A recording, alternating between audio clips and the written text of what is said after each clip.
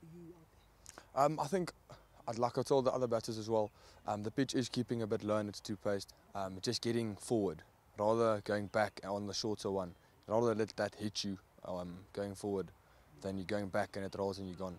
So Did, yeah. it, did it get easier throughout the day? Or? Um, I won't say it got easier because um, it was two paced the entire the entire time that I batted. For five overs were up and down, and then five overs were normal again. So I won't see I got like if, um, used to how the pitch played.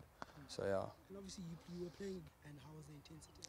um, it's quite nice playing against the next level players um, because that's where we want to be in a couple of years, um, and it helps to see where you are with your game. Um, if you need to work more uh, harder and stuff. So yeah, um, but I was happy how I played with it. And obviously you guys are going. Um, I have played a couple of three days of the academy as well, um, so I've got my game plan sorted quite well. This game also helped me, um, just playing a bit and against the next level players.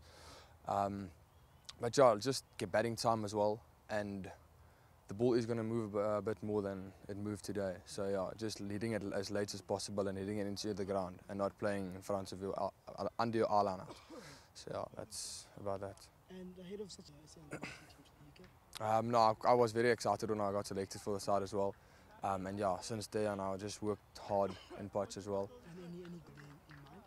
Oh, my, one of my big goals is to score a couple of big hundreds and then just contribute to the team. Because if I contribute to the team, then we're going to do well and then the tour is going to be successful as well.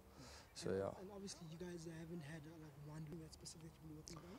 Oh, the one big thing is hitting the ball straight down the ground.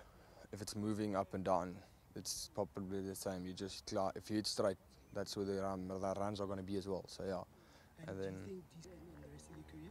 Yeah, I like the I, I like the long former format of the game. Um, I'm not the biggest hitter when I come in, so I like giving myself some time and getting used to what's happening outside there, and then yeah, contra- uh, going from there. So yeah.